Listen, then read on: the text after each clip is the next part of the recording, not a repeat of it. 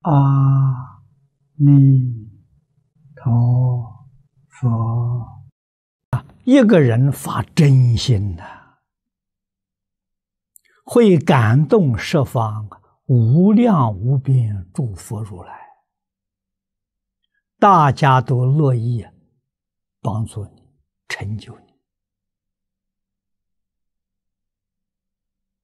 啊！阿弥陀佛发的是普度十方世界一切苦难众生，这个苦难众生是指六道里头的三恶道啊，他最苦的众生呐，发这样的大愿呢？啊，他的老师啊，他有老师。自在王如来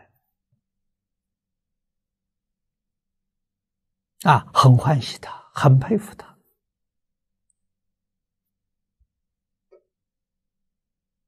啊，把十方一切诸佛刹土展现在他面前，让他自己去看。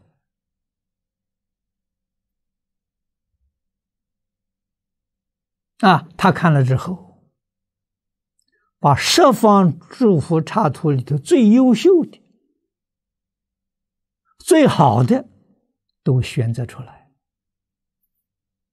啊，他看到是从果上看到的。啊，这个是善果，是什么因修的？他也要像诸佛如来一样去修啊！啊，无界的时间完成了啊！所以西方世界是诸佛刹土里面的精华，诸佛刹土美好的集大成，这个多难得了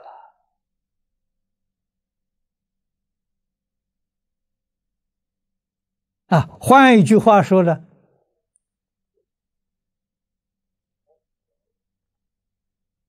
阿弥陀佛在因地里头也是像孔子一样学无常思啊，啊，见到人家好的都学，见到别人不好的他就反省自己有没有，是有则改之啊，无则加勉，这是一个非常好的修学态度啊，他具足。圆满了啊！所以极乐世界确确实实固然是往生净土的人集结无量的善根善行啊成就的啊，它主要的因素是阿弥陀佛发广大心、无上心。造成的极乐世界，这个事情能行吗？我们听了之后能相信吗？难。为什么？世尊在大乘教里常常讲。十方世界一真庄严，从哪来的？唯心所现，唯识所变。啊，又常常告诉我们：一切法从心想生的。极乐世界是阿弥陀佛的心想生的。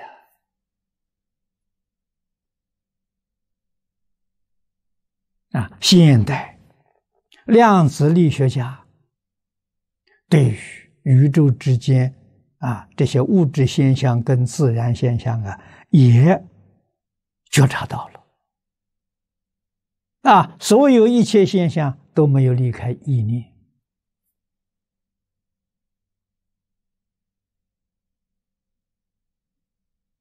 啊，物质现象是什么？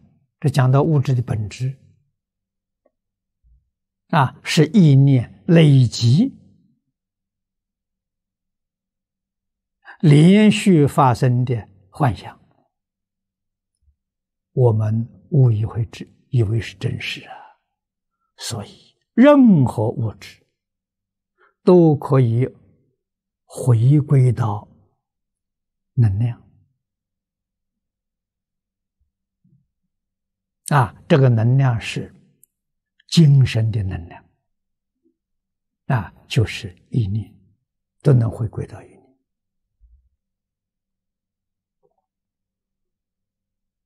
啊，所以佛经上讲的，我们能相信啊！啊，既然相信了，我们就应该要发心向阿弥陀佛学习。啊，阿弥陀佛起心动念可以讲纯净纯善啊，所以西方极乐世界叫净土啊！啊，那个世界的美好是纯善啊！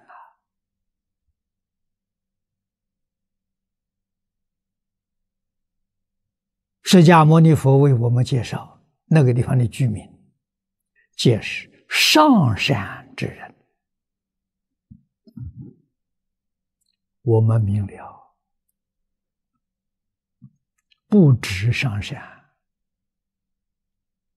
上上善人啊，我们可以这样说法。那个地方人民心态好，一丝毫不善的念头都没有，哪里会有不善的行为？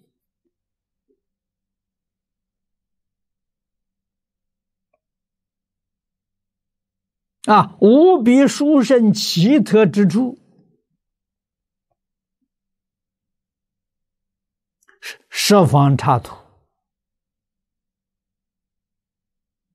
六道众生烦恼习气很重，哎，也能往生。啊，这就真正是奇特啊！八万四千法门。任何一个法门，如果烦恼习气不断，你不能成就啊！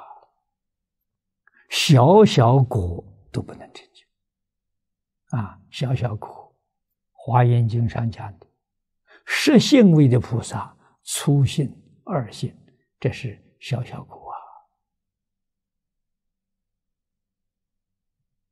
啊！啊，声闻里面的。须陀洹啊，粗果都要断惑才能证得啊！你的烦恼习气一品没断，不行啊，你不可能证得。啊，那这个法，这个法门，它无比奇特之处，叫待业往生。你烦恼断了吗？没有。啊，只要你能够把烦恼控制住，它有，但是它不起作用。在什么时候控制呢？往生最后一念。啊，这一念的时候，你能够控制，你就往生了。啊，待业往生是最后一念的，不是讲平常啊。那是个关键的时候，啊，最后一念是阿弥陀佛，没想别的东西，他就去了，他就成功了。到了西方极乐世界，我们知道，无论是善是恶，果报现前呢，一定要具四种缘。啊，善恶的因你有。这叫待业嘛，啊！但是缘，我们这个世界有，极乐世界没有。啊，有因没缘，它不会起现行。啊，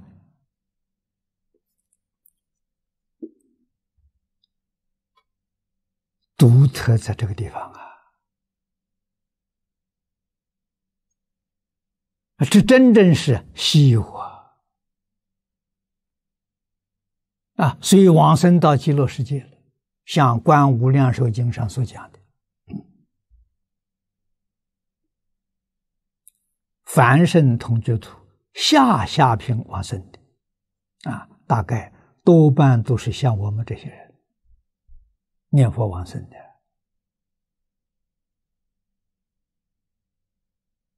啊，生到那个地方的阿弥陀佛本愿为神加持。啊，你看智慧、神通、道理，都跟阿维月智菩萨平等。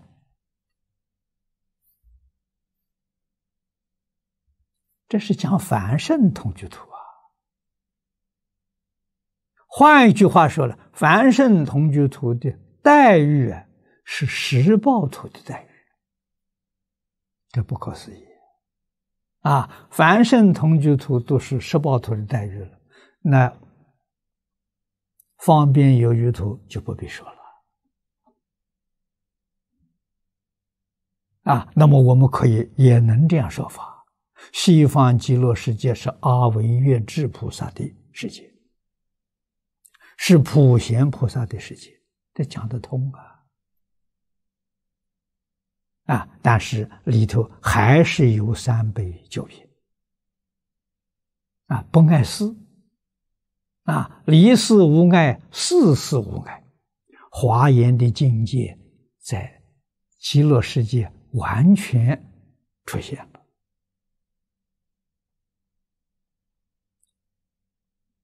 啊，这么样一个好的地方，我们现在明了。能不能去是最后一年？那每天念佛是在干什么？像练兵一样啊！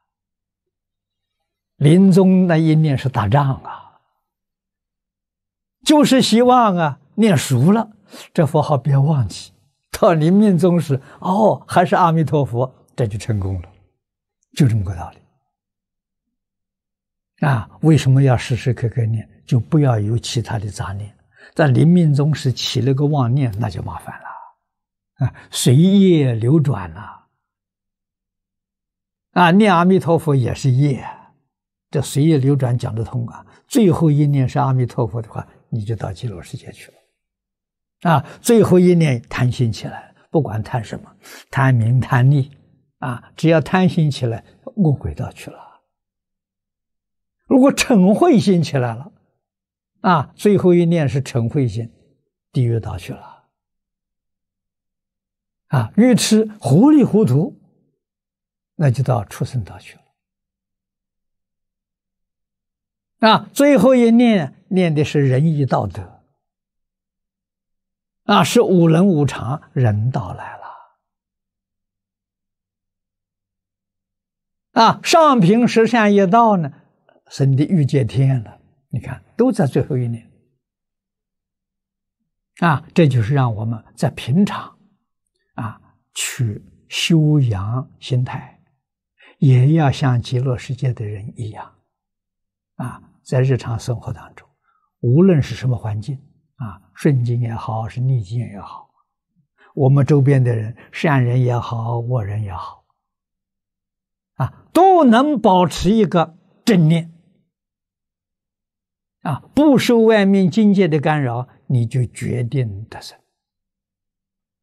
啊，那什么，无论什么环境里头，都是阿弥陀佛，除阿弥陀佛之外，什么念头都没有。啊，也别想着啊，这是善人，那是恶人，都不想。啊，善人阿弥陀佛，恶人也是阿弥陀佛。啊，顺境阿弥陀佛，逆境也是阿弥陀佛。你就快乐无比了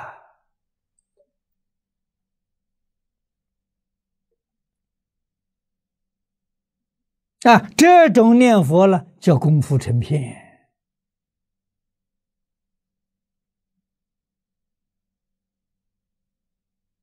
啊！念佛人还会随着境界转，这个事情麻烦就很大了。那，顺境里生欢喜心，逆境里头有怨恨，这样念佛，极乐世界去不了。啊，念一辈子佛，来生还是高六道轮回，这不能不知道。啊，所以经上那个标准跟我们讲的很清楚，在经题上。啊，标准是什么？清净、平等、觉。啊，清净、平等、觉就是阿弥陀佛。阿弥陀佛就是清净、平等、觉。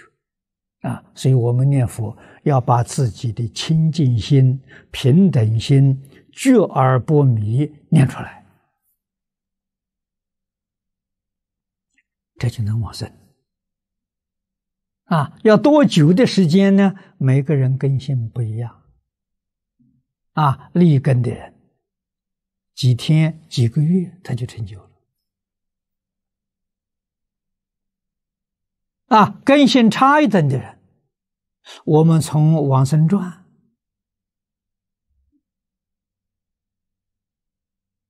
从《净土圣贤录》里面去看。一大半以上，不超过三年，能到这个境界呀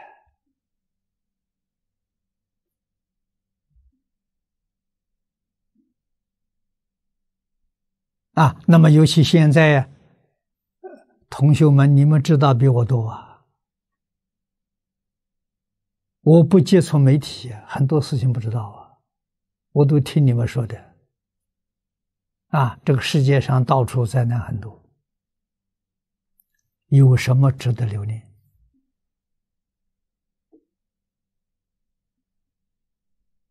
啊，这现在讲移民嘛，为什么不移民到极乐世界去呢？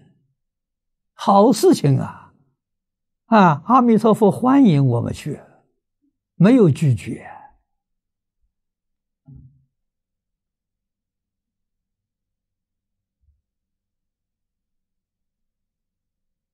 啊，这一部经就是释迦牟尼佛为我们介绍极乐世界说明书啊！哎，移民到西方极乐世界的说明书，依照这个里面所说的，你就决定去得成啊！而且时间不要太长，不会太长。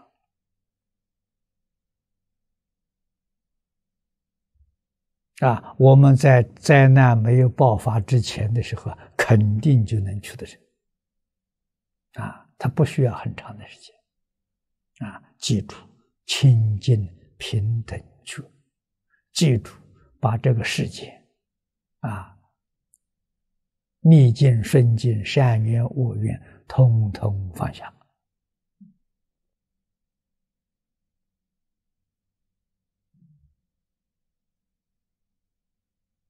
啊，我们的念头放不下了，念头叫它统一，叫它归一，就是无论见到什么人，都真的阿弥陀佛；无论遇到什么事，也是阿弥陀佛。我们把心态转过来了。啊，阿弥陀佛在前面跟诸位介绍过。啊，这是什么？这是。真如自信的德号啊！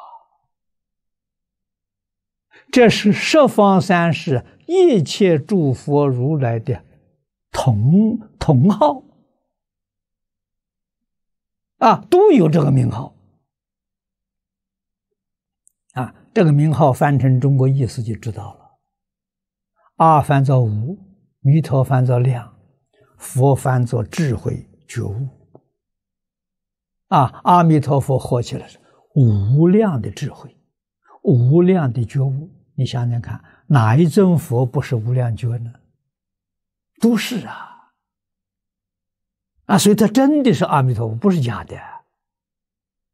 啊，现前我们面对的也是真的是阿弥陀佛，不是假的。啊，为什么呢？他自信是无量觉。啊，现在是因为有妄想分别执着障碍住，他迷了，啊，迷是假的，不是真的，一时糊涂，啊，他会觉悟的。所以，诸佛如来心目当中看所有一切众生，没有一个不是阿弥陀佛，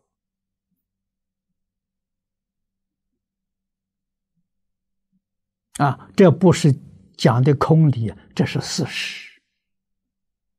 啊，我们要了解，从今把心态换过来，啊，一切人事物都是阿弥陀佛，啊，遇到蚊虫蚂蚁也是阿弥陀佛，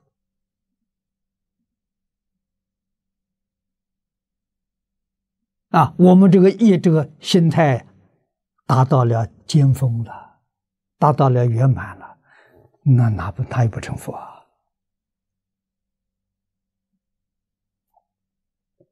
今日世尊于宣弥陀宏愿一成，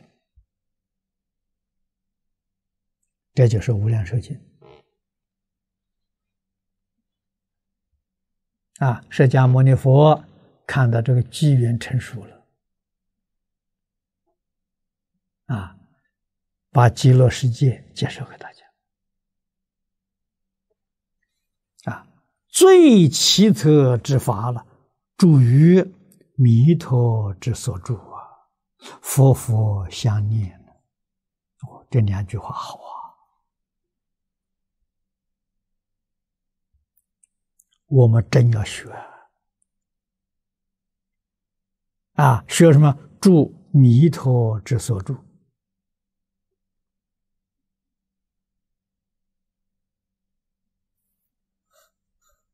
啊，这就是经中讲的长吉光，哲学里面所说的宇宙万有的本体，佛法叫长吉光，要住在这里头啊！啊，佛佛相念。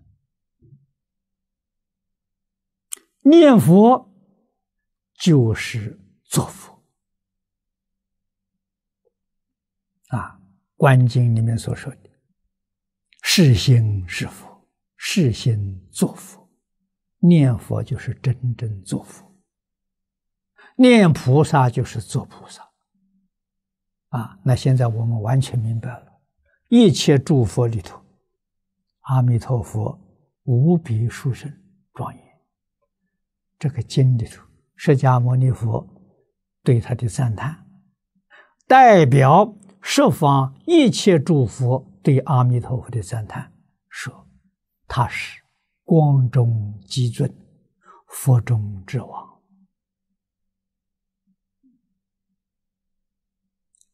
这个赞叹到基础了，再没有比这个圆满了。再没有比这个高了。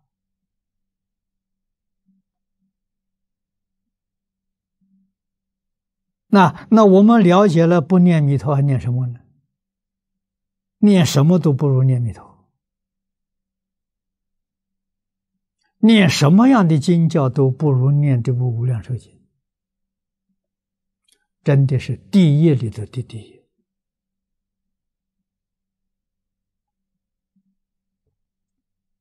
你搞不清楚，没有透彻的理解它，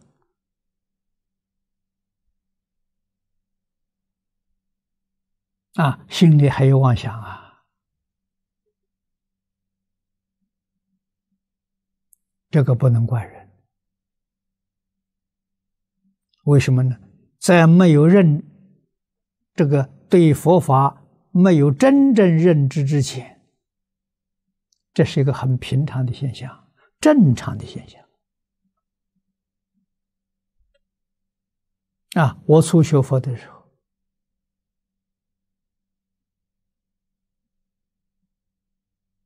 认识李老师，那个时候我对阿弥陀佛不认识。啊，我的兴趣呢？广学多闻啊，所以对于《大乘经论》呢有浓厚的兴趣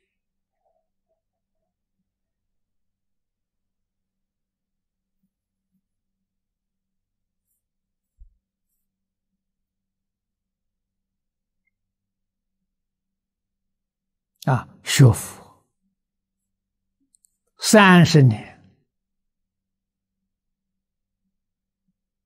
才明白了，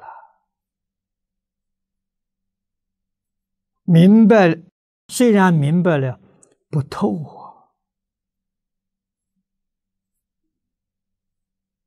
啊！啊，认真的修净土了，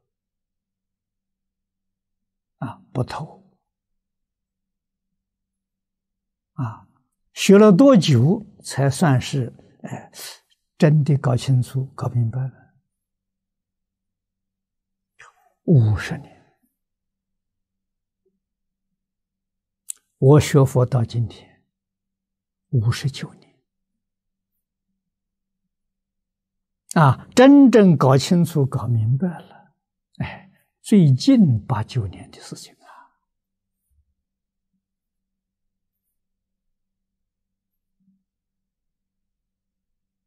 啊，啊，这个搞清楚。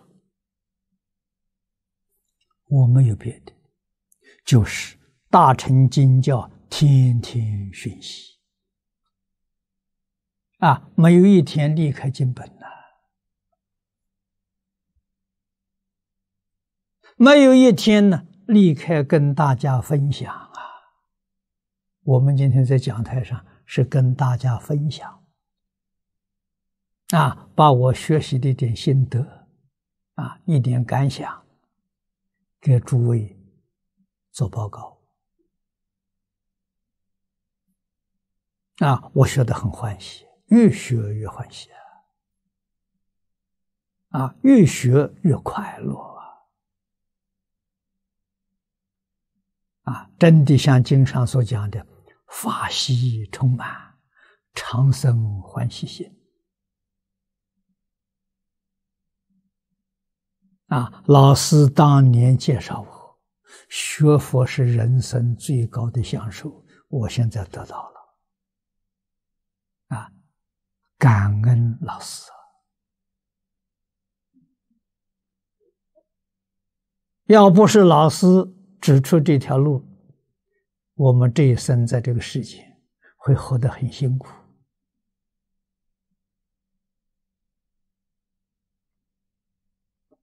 哪有真正的快乐幸福啊？那么很多我们也 也看到，这么多年来，许许多多学佛的人，他没有真正得到幸福快乐。为什么？他没有真学啊！所以这个东西。要真干才行啊！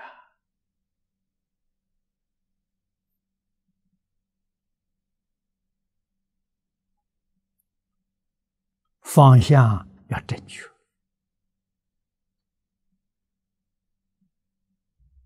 目标要坚定，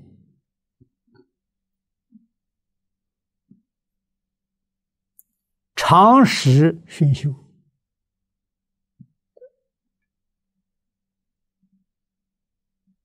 一天都不能放过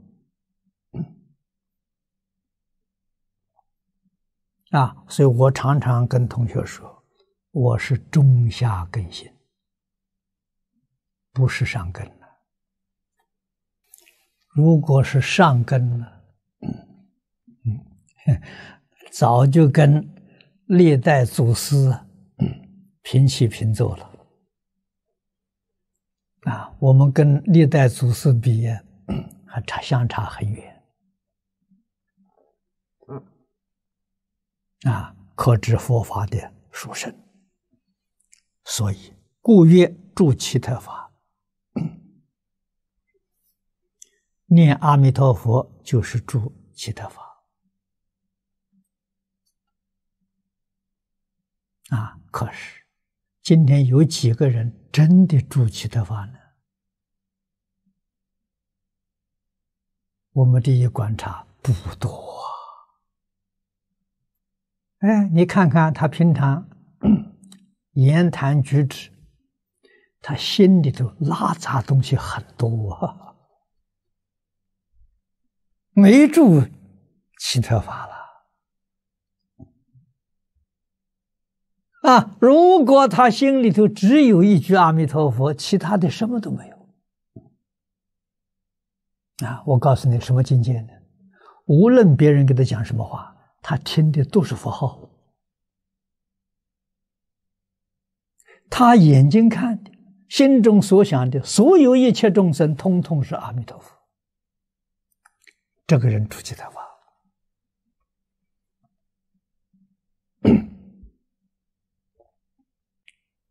我们再看下面经文：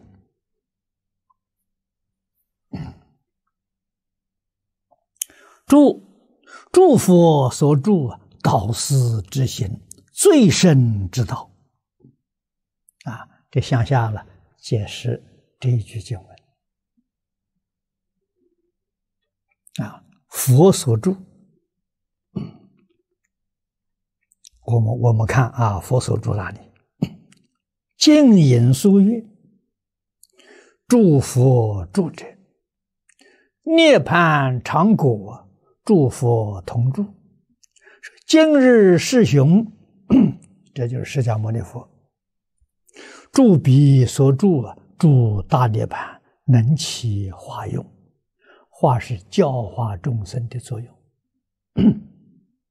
他讲的没错。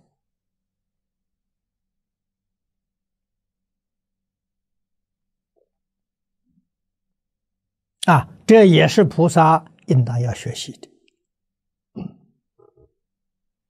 啊，涅槃常苦，诸佛同住，这句话什么意思？涅槃是不生不灭。啊，前面 我们读过。啊，一般都用“圆寂”两个字来解释。圆是圆满，寂是清净寂灭。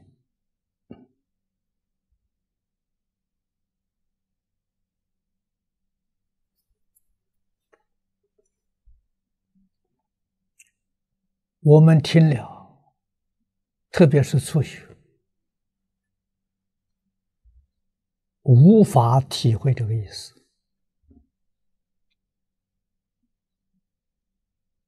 啊，还是用我们最浅显的话来说，大家好懂啊。圆满的清净寂灭是什么呢？我们六根对外面六尘境界：眼见色，耳闻声。啊，鼻嗅香，舌尝味，啊，身的意的接触，啊，接触外面境界，真正做到了不起心不动念，又清楚又明了，啊，不起心不动念，这就是涅槃常果的境界，不是离开呀。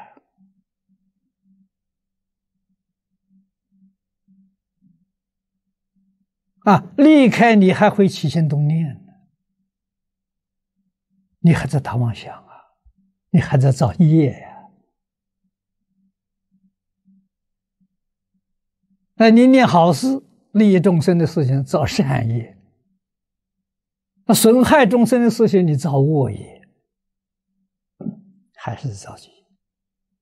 如何能够学到像化身大师一样？不起心不动念，那真难啊！那不得已而求其次，佛佛所住走道，学菩萨。菩萨呢，有起心动念，没有分别执着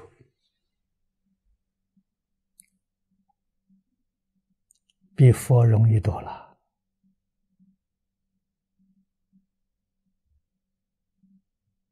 啊，再不行呢？再不行就再其次，跟阿罗汉学，不执着。阿罗汉有起心动念，有分别，啊，但是他不执着。给诸说，不执着就没烦恼了。啊，所以在我们经题教到我们修行这五个字“清净平等觉”，阿罗汉就得到了清净。为什么他没烦恼了？啊，执着破了，于一切法了，不再执着了。阿罗汉的不执着。菩萨的不分别，诸佛如来的不起心不动念，要怎样才能练成？我相信很多同学都想知道，哎，用什么方法能够练成功？给诸位说，就是诸奇特法，你就练成功了。啊，心里面什么就是阿弥陀佛。除了这一句阿弥陀佛之外，什么都没有。无论学声闻、学圆觉、学菩萨、学佛，你都能成就，而且会很快的成就。这法子很秘密啊！我今天在这里是揭秘，诸位要知道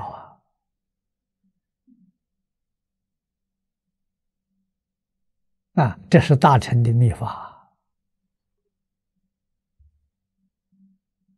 啊，会非常有效果。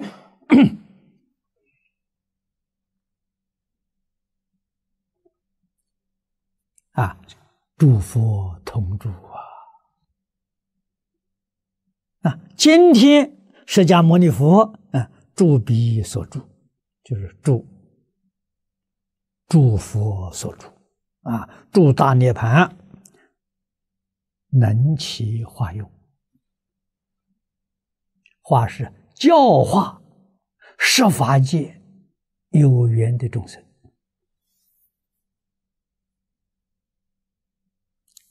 身心言教啊，啊，他真做到了。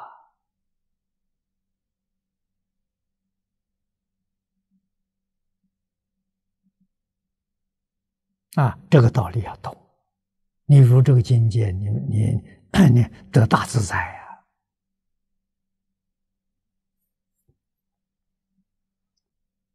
佛示现在世间，啊，叫应化在世间，恒顺众生，随喜功德。啊，《楞严经》上所说的。随众生心因所质量啊，随佛没有定法可说啊，无有法可说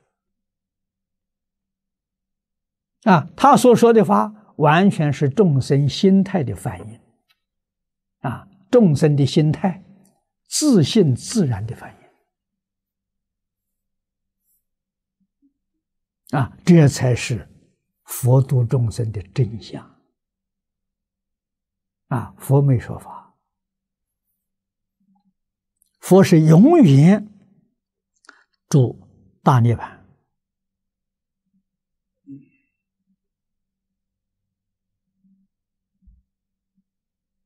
啊！为什么呢？从来没有起心动念，在设法界教化众生也没有起心动念。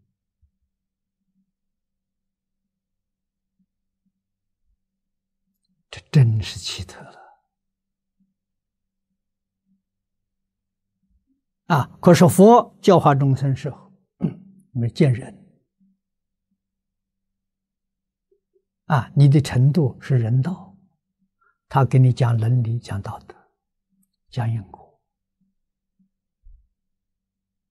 你的程度是小乘根性，他给你讲小乘经教；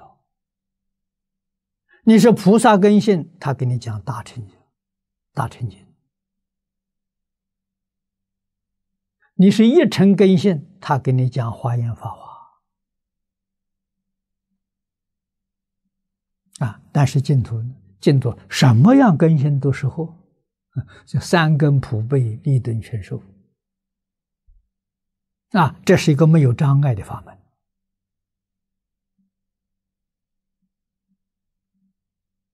啊，任何人接触都得利益。啊，只要有一点点善根，遇到之后都有可能在这一生当中往生净土。这要用我们一般话说，太幸运了！你在这一生当中就可以成佛了，往生就成佛。为什么呢？往生就是阿惟越之菩萨，阿惟越之菩萨成佛啊！